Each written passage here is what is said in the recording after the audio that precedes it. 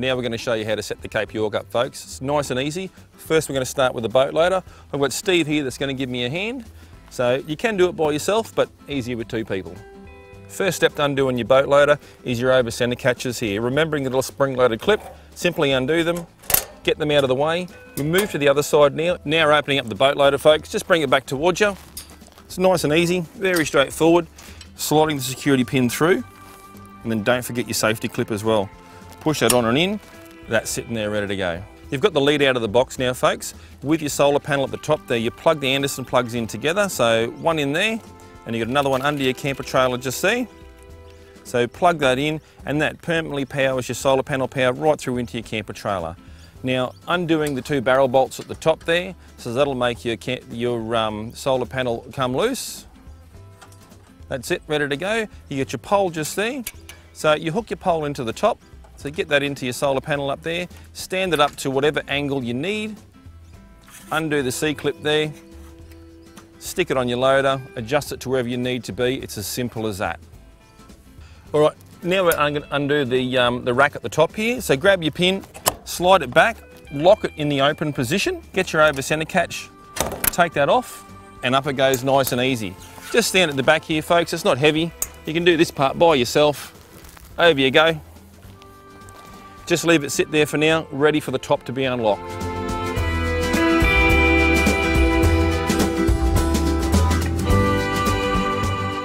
All right, folks, now we're gonna open the top up. Now you can do it with the winch, winch them open and winch them closed, but it's just as easy to do it by yourself. So unclip your over center catches, nice and easy. You find the top will pop up, just like that. So as you do it, just hang on to your lid, make it nice and easy. Down we go, that's the hard part done. All right, now we're gonna push the main part of the tent open. So we're going to go inside. Steve's going to push this main bar open. You've got your unlocking nuts again. So once you've unlocked both of them, push the centre one up first. That's the easiest one to do. It helps taut the tent up. So up we go, nice and easy.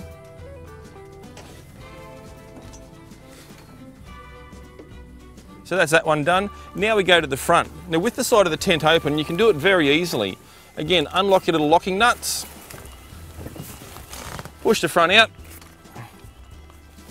lock them in position, we're just about there.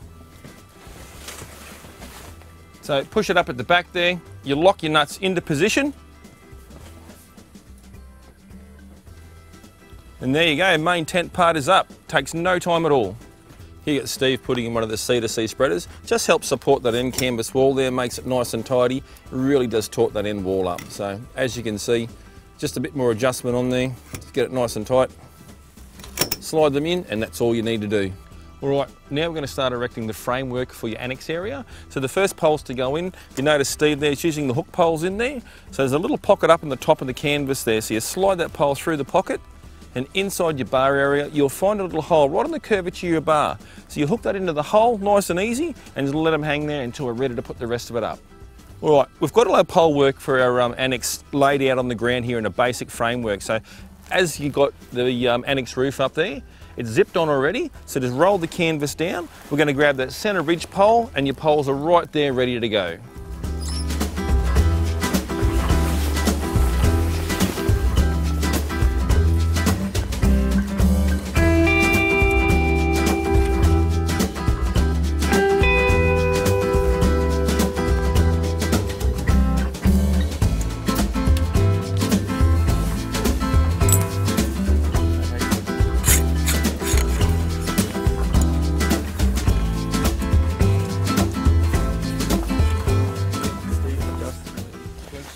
While you've got that bar at a 45 degree angle, folks, best thing to do is adjust it out so that canvas is nice and, taut, nice and taut. That way you're not right up there later on when we've got it adjusted up trying to do it then. So adjust your pole out,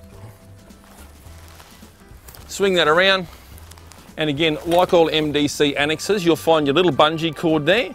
Grab that, find the hole that it goes in, pocket, pop it in there. That way, if it is windy, that annex isn't going to fly off the top there. It's secured, it's ready to go.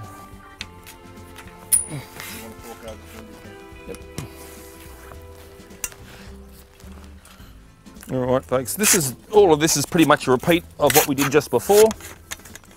So spreaders in, just a little bit of adjustment on there and just keep working your way down the tent and you'll have it done in no time at all.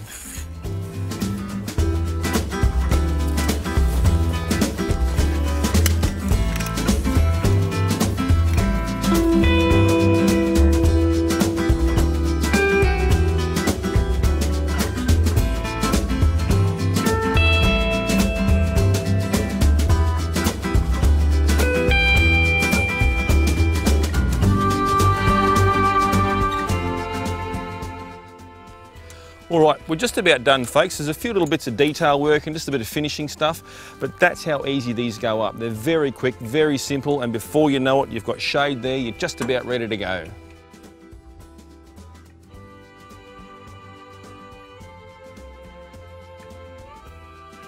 All right, here we have our ensuite on the Cape York. Now the ensuite stays attached to the Cape York. You don't need to take it off. They're very, very simple to put up. So the pole framework is very, very easy. So put your spear pole through there, adjust your leg out. Steve's got the other end of the spreader there. Just unlock it. Sit it on top of your spreader poles there. Spread that out so it's nice and taut. Grab yourself a rope. Hook it up. Tighten your rope up. It's just a matter of adjusting your, your floor around slightly. Sit your pole on your floor there just so it holds it out.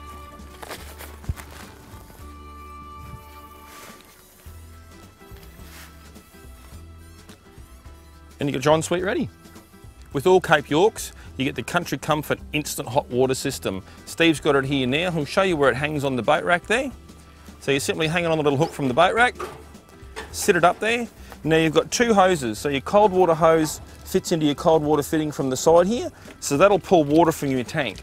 So when you're running your hot water system, it's just a quick connect fitting, straight in. Also, you've got your hot water here. You slide that into the bottom of your Country Comfort. Put your other one into the hot water from there. So that way now you're getting hot water to your kitchen area as well. Last but not least, the long red hose there is for your shower head for your ensuite. Feed that through there. On the side of your ensuite, there's a zip in the side so you can feed your shower head through there, hang it on the inside, instant shower. Here we are. We're going to put the kids' room on. It's all a one-piece room, so the floor and everything's all one piece. It's a standard inclusion on the Cape York. So they zip up and around the end. The pole work is very, very simple. It's a very quick room to put on.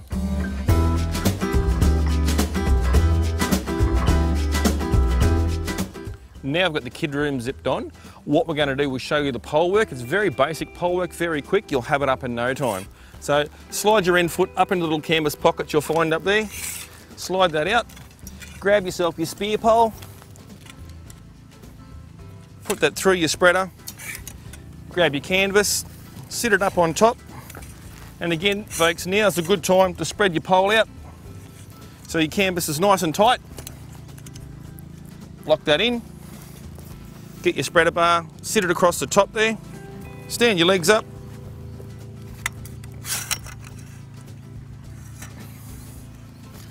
A couple of Velcros and you're just about done.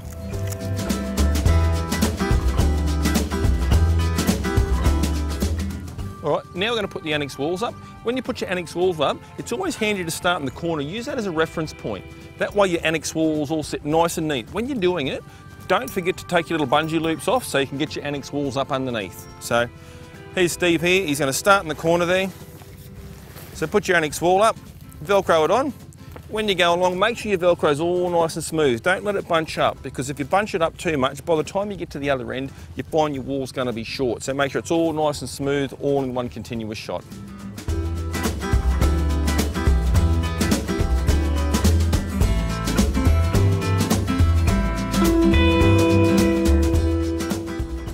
All right, here we have the PVC floor for the annex area. Again, use your corners as a reference point when you're velcroing the floors in.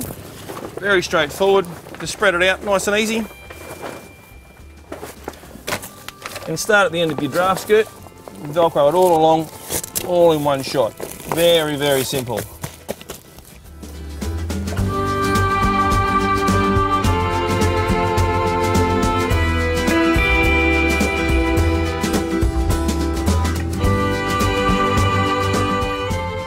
There's your PVC floor in and done. Literally took us a couple of minutes to do. Just remembering, follow your Velcro along your draft skirt first, spread it out evenly, make sure it's tucked in nicely, sit your poles down on your PVC floor as well so it holds it down and you'll have it done in no time at all. There you go folks, the Cape York Venturer 10 year anniversary edition all done and dusted, up ready to use. They're very simple, it's got everything in it you could ever want for a camper trailer. So come into a store and see us shortly, get out there and enjoy Australia, escape with confidence, welcome to the MDC group.